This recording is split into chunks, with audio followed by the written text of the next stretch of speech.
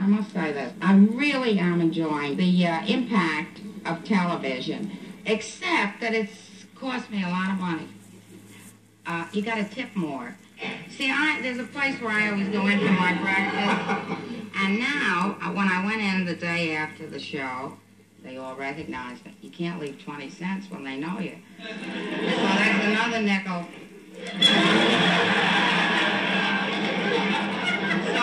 Tried finding new places. But I'll tell you something, everybody watches television. So no matter where I go, it costs extra. And then on the bus, it costs me more now. I got on the bus, next day I was going to work. I, you know, I'm pretty tight with a book, you know. Look, I may have to support myself for the rest of my life. so I'm not taking any chances. So I get on the bus and I'm clutching the two dimes. And the bus driver says to me, I saw you on the Paar show. So I got so excited, I dropped the 20 cents. And now I said, I put 20 cents in there. Uh, you have to give me a nickel back. He says, I can't do that. You got to wait until somebody comes on who has a nickel change. Well, I sat in the bus, and everybody that got on had exact change. They kept, you know, and I sat there and I went past where I work and everything. To me, it's a nickel. You don't find a nickel in the street, you know. So I finally got off the bus and took a cab back to the meeting. oh, I got to tell you about the uh, taking a check.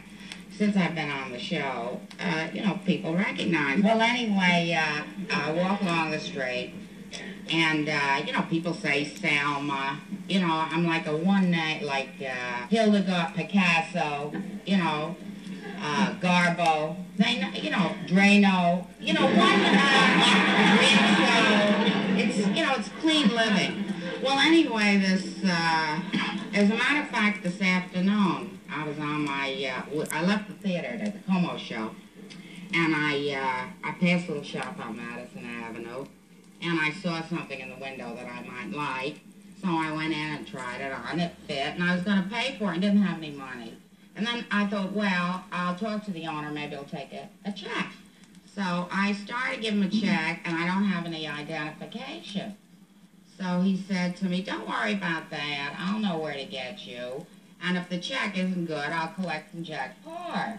I thought that was nice. And I uh, tried the thing on, you know, to fit and he wraps it up. So as I'm walking over here, I remembered uh, that the bank sent me a notice this morning that I was overdrawn.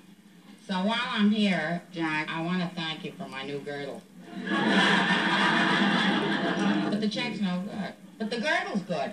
Who sees it? You know, where the practical stuff. You know, over the weekend, you know, the, the trade fair was going to close, so I ran down. And uh, I feel that as an American, I should go and, uh, you know, buy little things. I, I, want them to see that I'm friendly to their country. So uh, I passed the Israeli booth.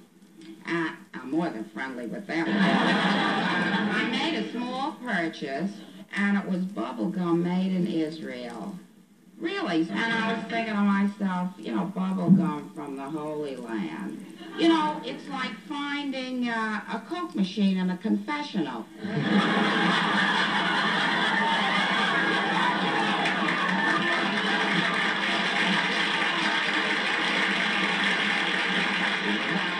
It's it's just wonderful bu bubblegum made in Israel. They're really moving ahead.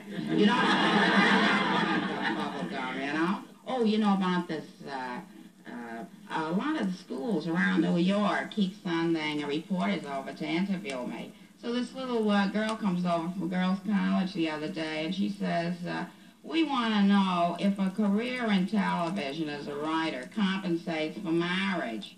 Now, that's crazy. You know, on a cold night, you're going to warm your feet on the back of a typewriter? She, oh, another thing she wanted to know was how old a girl should be before uh, she can go to a prom, you know, wearing a strapless dress. So I said, uh, if it stays up, you're old enough.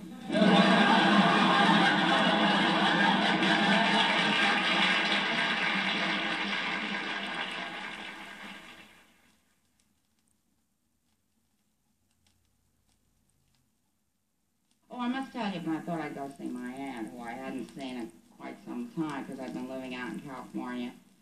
And uh, I went up to see her, and she said, uh, what have you been doing out in Hollywood? And I said, uh, I've been writing for Groucho Marx. She says, with his mouth, he needs you. so she said, uh, you wearing a mink coat? I said, that's right. She said, uh, you know somebody in the business? I said, no, no. She said, uh, somebody gave it to me. I said, no, I walked into a store and bought it. She says, retail? I said, that's right. She says, are you trying to tell me that a single girl walks into a retail store and buys a mink coat? And I said, yes, I did that. She, you know, because it's like mass rejection, paying for your own mink coat.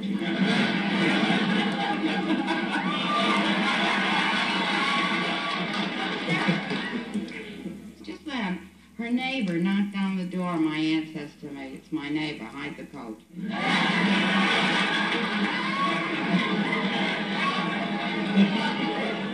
I gotta tell you, I, you know, I wore it for about eight or nine years. It's getting old, and uh, that was the wrong word, you know. But uh, I had to go and buy another one. It's pretty unpleasant going to bed at night, thinking this one wears out and I'll have to buy another one.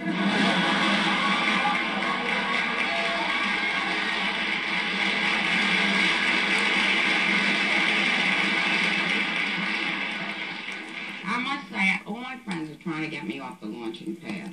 This I So I have a friend who's uh, married, and she made a date for me. And I kind of liked him, you know. And uh, when the evening was over, I told him that I liked him. She called me the next day. She says, don't do that. You're supposed to keep a man guessing. Well, what am I going to start kidding around? You know, I meet somebody I like. If I got time, you know, this is it. And if this doesn't work out, we'll go and find somebody else. So she says, no. Uh, she says, I'm married and my husband is still guessing. So I thought, well, you know, maybe.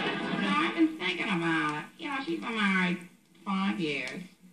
She has four children and one on the way. I've been thinking, where's the guesswork?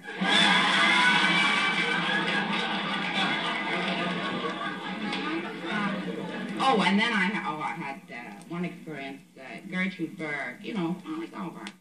She has this big place out in the country, and uh, she invited me up. So she says, I'm sending a bachelor down to pick you up, a doctor so-and-so. So I get dressed, you know, and I go downstairs, and my wife for me drives up, and I get in the car. And as we get out of my driveway, he says, uh, let's stop and get the car washed.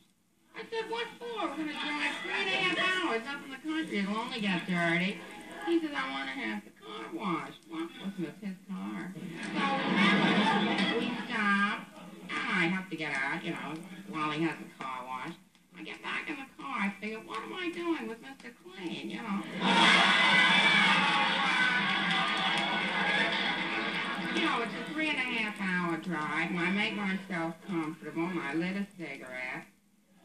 Now, he's not watching the road. He's watching where I'm putting the ashes. So I put the cigarette out. You know, I figure you just meet somebody, you don't give them trouble. You know, that comes later. So we drive along. You know, I'm not smoking. I'm hungry. So I said, uh, I'm hungry. So he said, all right, we'll stop at a restaurant. I said, oh, let's not get involved with that. Just get some frankfurters and we'll eat those. So he goes out and gets them, and he comes back, and he's standing outside of the car. He's not going to let me eat in the car. so I got out of the uh, car and ate the frankfurters. I get back in the car. You know, I think, you know, who needs this? With this fellow, I'm going to have to give up smoking, eating. You know, so, uh, so uh, all I saw is that I was with an outpatient, you know.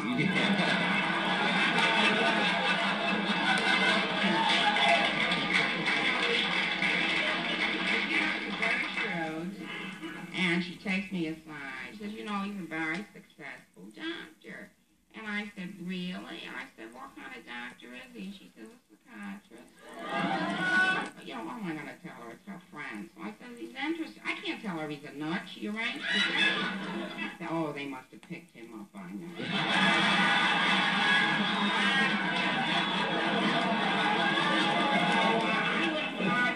well, And I went back with, uh, uh, you know, two of the waiters that they hired. Gee, they take home a lot of stuff.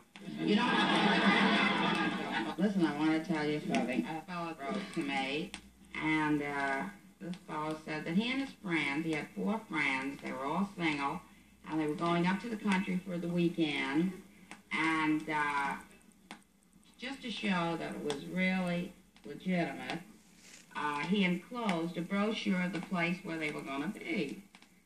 So I opened up the brochure and it's Grossinger's.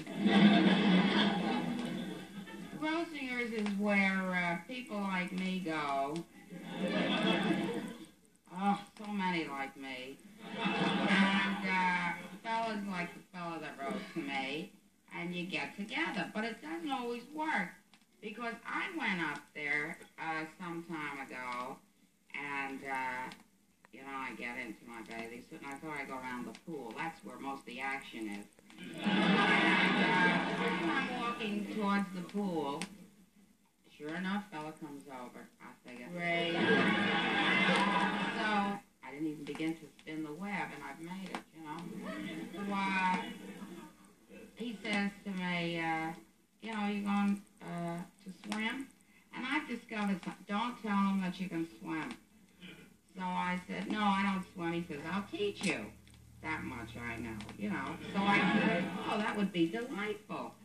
And I'm looking at him. You know, he's not bad. We could make it. I said, uh, as we get towards the pool, I'm thinking that this will be all right, you know. And suddenly he turns to me. I'm so glad you showed up for the weekend. He says, I was getting so tired of the young ones. but this is what hurt. Now, wait, you know, that's bad enough. But at that time, I was 26 for the first time.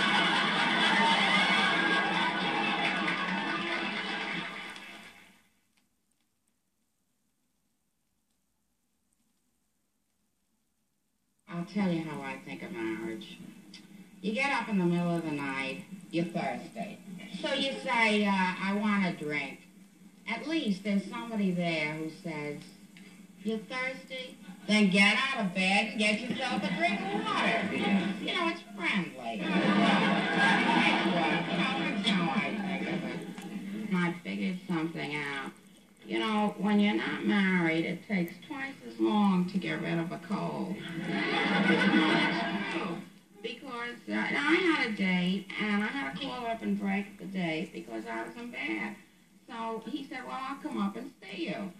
Now, when you have a cold, you're supposed to stay in bed. Well, if a fella's coming up, I had to get out of bed, put lipstick on, you know, comb my hair, and you can't walk around with the flannel bathrobe, you know, with the torn binding. No, no. So you gotta put on what you get for Christmas, you know, with the ribbons hanging. And that's drafty, you know. So, uh, you know, I had to do that a couple of times. And then I figured, you see, when you're married, you can stay in bed, look like a slob, get over the cold, nobody cares.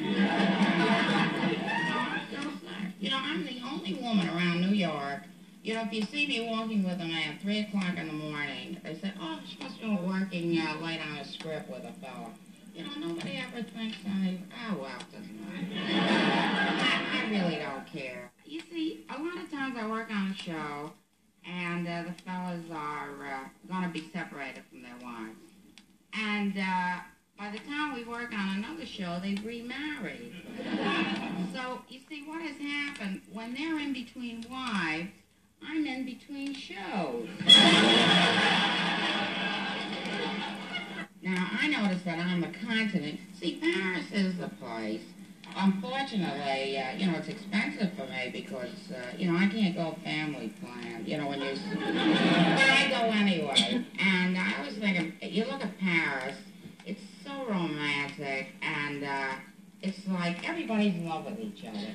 You know, even during the day, they have their arms around each other, and if they feel like uh, kissing, this is in the daylight, you know, they kiss, they carry on all the time. And you look at Paris, it's like a great big motel.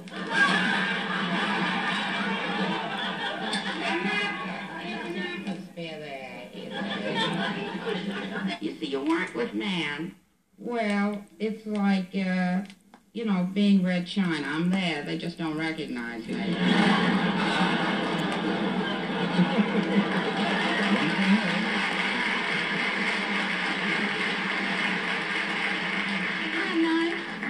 and they treat you like one of the boys, and I hate this, because they're not that nice to each other.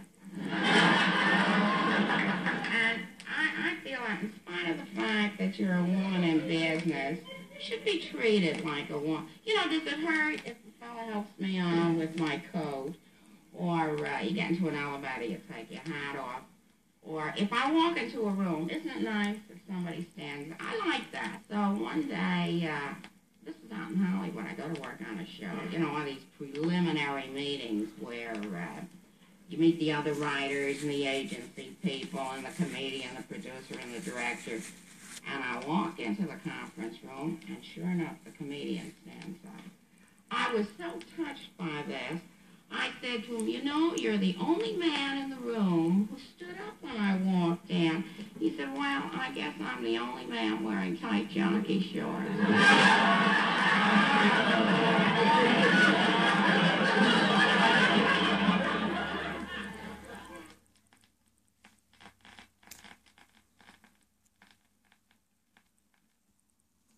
now, when I was out in Hollywood, uh, writing radio. You know, I made a little money and I achieved a certain uh, dignified obscurity.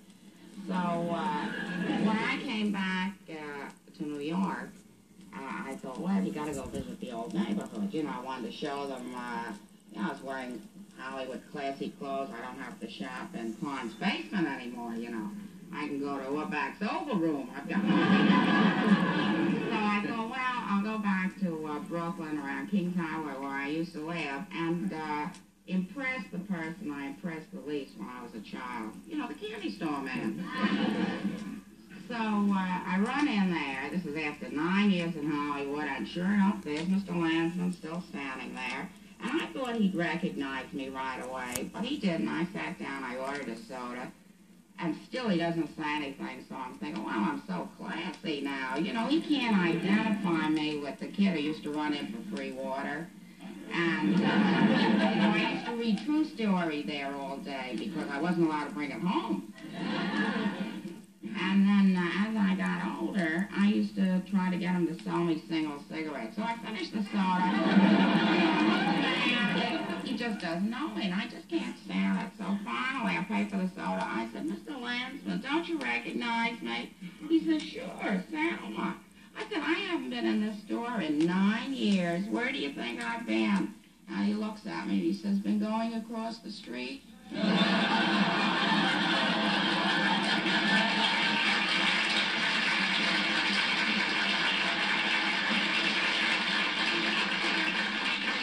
radio, and uh, in those days, uh, Ed Gardner, who had a great show, uh, would hire writers, uh, but a lot of writers. And once we had 13 writers on the show, this was the truth. And uh, Ed's dressing room was filled with writers, and Ed and I walked in, and uh, we had to sit down and go over the script. So I said, gee, I haven't got any place to sit. And Ed said, gee, that's right. Everybody on that side of the room is fired. Some spot, I was straddling, you know. Well, Tallulah, who I just think she's a great, wonderful actress, and one of her great successes in England is Camille. As a matter of fact, when we went over there with the show, 20 years later, oh, I wasn't with her the first time. when she went back, 20 years later, we had written um, a takeoff on Camille for Judy Holliday, and, uh, yeah, Judy Holliday. And uh, one of the rehearsals, Tallulah did a bit, the dying scene from Camille. And this happens to be my favorite novel, you know, Frustrated Lover. It's the story of my life, you know. you know, if there had been penicillin, there wouldn't have been any Camille. so anyway, she goes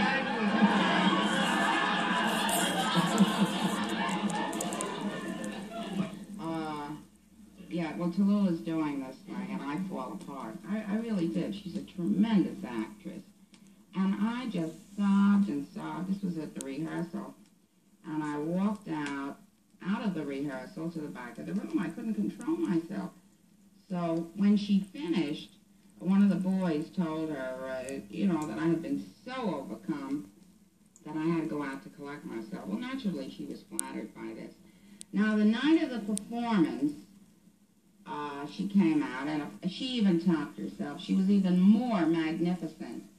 And she walked off after doing the scene, really sobbing, very emotional. And as she got off the stage, she turned to the drummer in the band and said, Did Thelma cry again?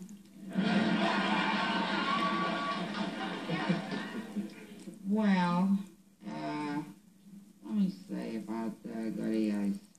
Well, one day we were coming home from work, and with all his money, I live even further east than he does, you know. So we get in the cab, and I'm going to drop him off. So he mumbles um, his address to the cab driver, and the cab driver said, I beg your pardon, I didn't hear you. And Goody repeats it, and the cab driver says, I'm sorry, I didn't hear you. So this kind of got Goody, and he said, uh, you know, uh, I was on radio for 20 years making my living as an actor. And cab driver turned around, he says, you know, I didn't understand you then either.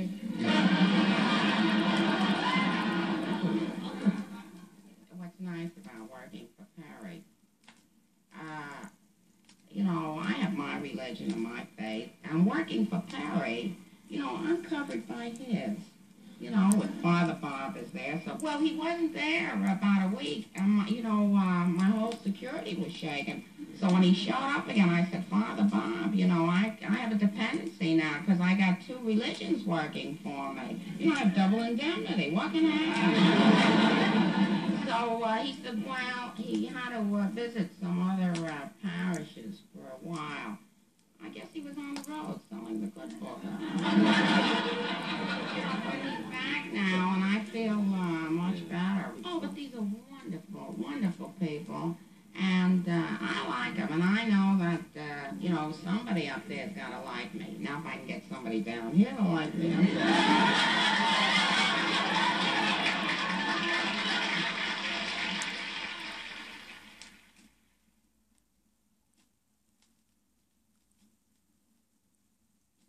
Oh, I have a friend that I went to school with, and he's in the diplomatic corps in Europe. He spends very little time in New York.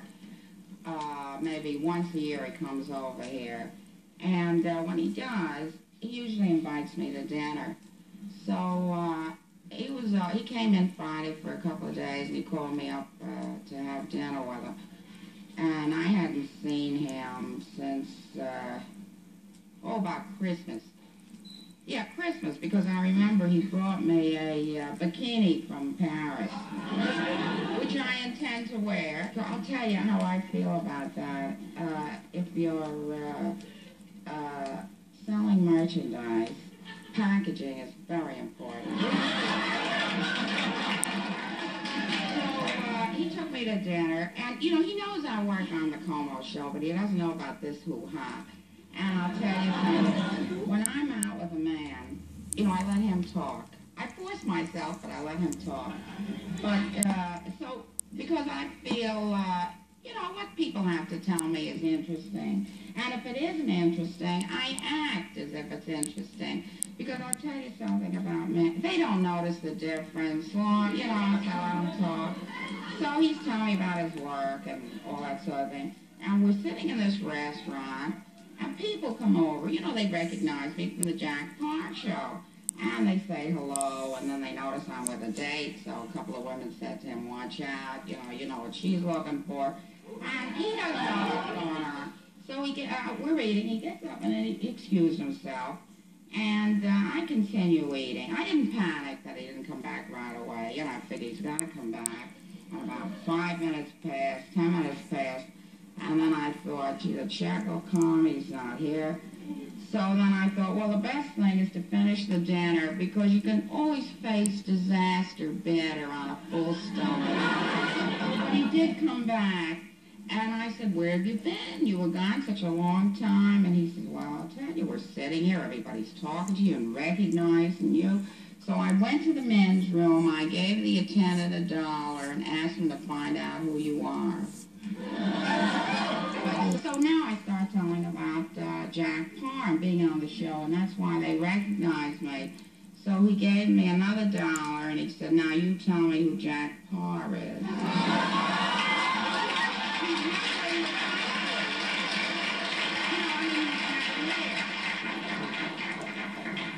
Listen, I want to tell you something. Over the weekend, I was uh, working, I was writing, and the phone rang, you know, and I thought, well, I'm home, I'll answer it. And uh, this agent calls up, and he says, uh, you know, they're uh, making some inquiries about you from the coast.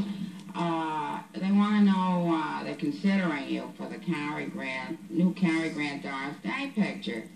So I think to myself, you know, these agents, they go to lunch, they have those martinis during the day, you know, and he comes back to his office and he thinks of these things. So I said, uh, why don't you, uh, you know, pull the blinds in your office and sit quietly, and maybe this whole thing will go away. Because, you know, let's face it, there are more people out that are ill. You know, and agents are a lot of these people, you know. So uh, I hung up, and he called back, and he said, no, I really mean this. He said, uh, they're thinking of you for the uh, Cary Grant dot, so I'm thinking to myself, uh, listen, why not? What's wrong with that? But I can't get enthusiastic. So I was talking to Paul Keyes. So I said to Paul, uh, you know, this crazy thing happened. They're talking to me about the Cary Grant picture. So Paul real seriously says to me, you know, Selma, Cary, you know, it's not a bad opportunity. Cary Grant's never made a bad picture. So I've been thinking about it. He's never made a bad picture. I've never made a bad picture.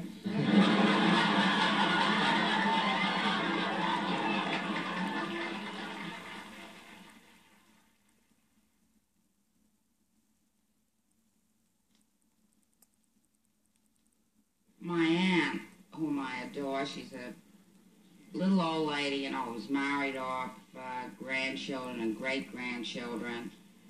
So as far as she's concerned, you know, I'm a waste of time. But I'm a relative, you know. So uh, I didn't hear from her after the show, and I thought, uh, that's odd. You know, everybody called me. Up. So I called her up, and I said, uh, this is Selma. She says, I don't know you. and uh, I said, me. And she doesn't answer. So I figured, oh, she's mad. You know, I did something. And I figure it's getting near Passover, and I don't want to cut off my source of chicken fat because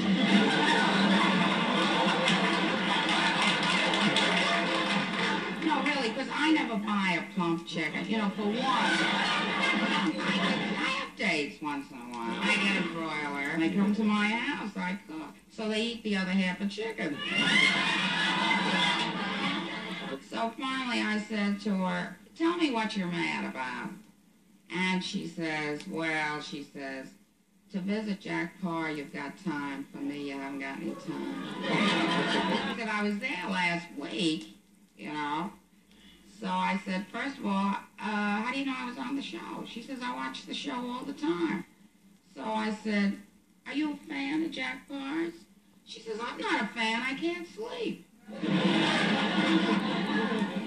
so uh, then I said to her, well, it was fun. Wasn't it fun? Everybody was laughing.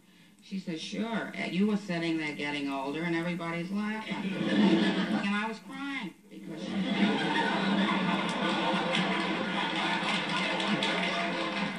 Passover, I went over there uh, to see her. So uh, she says to me, you're here? So I said, what do you mean I'm here? I said, you know, I come here every year for the Seder. So she says to me, uh, uh, I'm surprised to see you. So I said, well, why should you be so surprised? She says, well, she says, the way you're running to Jack Paar, I thought this year you were going to Jack Paar's Seder. well, we're all Americans here. We should know what a Seder is. Yeah, I'll tell you what it is. It's, um, it's a festival that celebrates the Exodus from Egypt. You know, this is the Exodus we managed without Sal Mineo. because with my aunt, the whole world is Jewish. Really. And, you know, I kid her about this a lot, so uh, after this last presidential election, I figured I'd got her. So I said, uh, how do you like uh, President Kennedy? She says, uh, I liked him. I voted for him. So I said, you know, he's not Jewish. She says, who says? oh, I said, now wait a minute. The whole world knows that uh, President Kennedy isn't Jewish. She says, I don't know. uh, if we have a holiday that celebrates a famous man's birthday, she says he's Jewish. Like uh, Lincoln's birthday, Lincoln was Jewish, but the man who shot Lincoln wasn't Jewish. But Lincoln was Jewish. Washington's birthday, Washington was Jewish. And you can't argue, or, of course, Christmas, there's no argument.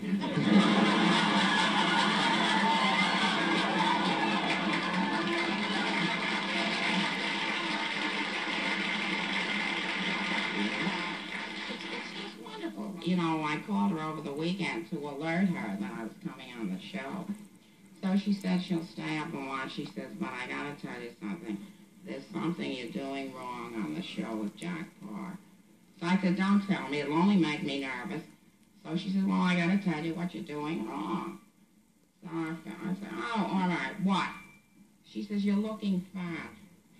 I said, fat? I said, that's me. I said, they put the camera on me, and that's the way I come out. So she says, it doesn't have to be that way. Talk to the cameraman. I said, what can he do? She says, look, he can do something. Talk to him, give him a quarter, you'll see the difference. I'll tell you what it is, you know, that she's become very showbiz. Well, this friend of mine, the Dorfman, so while I was working on a show with Sid, and his mother used to invite all us uh, uh, people over. You know, she'd make soup soup. Right? A great cook, you know, wonderful cook.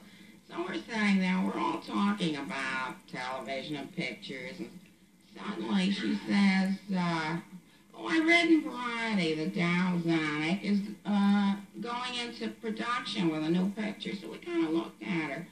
And Sid said to her, what do you know about Darryl Zanuck? You don't even know who Darryl Zanuck is. She says, of course I do. He says to her, well, who's Darryl Zanuck? She says, Darryl Zanuck's one of the Warner Brothers.